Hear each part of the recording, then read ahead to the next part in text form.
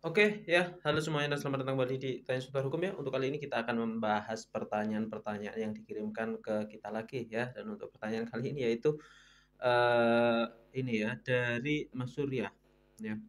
Saya sudah menikah selama 16 tahun. Eh, setahun yang lalu orang tua saya memberikan tanah kepada saya. Orang tua memberikan tanah kepada saya.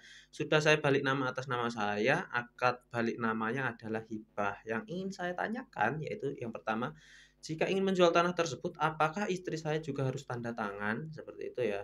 Yang kedua, apabila terjadi perceraian, apakah istri saya berhak mendapatkan setengah dari harta tersebut? Ya, e, inti dari permasalahan ini, dua pertanyaan ini sebenarnya, apakah tanah hibah yang diberikan oleh orang tua dengan akad hibah itu termasuk harta konogini atau harta bersama? Seperti itu ya sebenarnya intinya.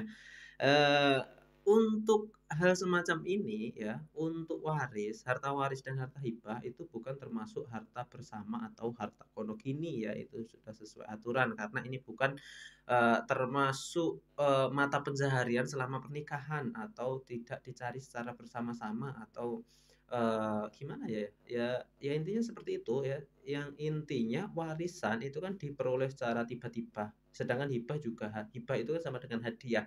Yang artinya hibah dan hadiah itu bukan termasuk harta bersama ya, seperti itu.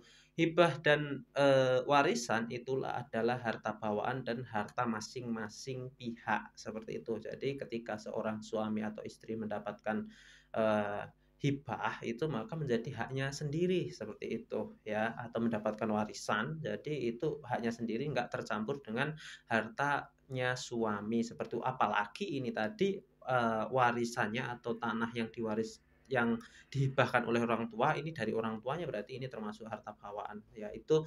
Dan untuk pertanyaannya yang pertama yaitu apakah uh, ketika menjual tanah perlu tanda tangan uh, istri ketika ini bukan termasuk harta bersama atau harta gonok ini maka nggak perlu uh, tanda tangan uh, lawan kawin atau pasangannya seperti itu ya. Ketika ini termasuk harta bersama maka untuk membuat akte di PPAT atau notaris Anda pasti perlu ditanyai tanda tangan kedua pihak yaitu suami dan istrinya ya. Namun karena ini merupakan harta bukan harta gonok ini atau bukan harta bersama maka nggak perlu tanda tangannya dua orang ya. Yang kedua, apakah bila terjadi perceraian ini berhak mendapat ya tidak tidak mendapatkan uh, separuh hartanya tetap menjadi hak penerima hibah 100%. Seperti itu.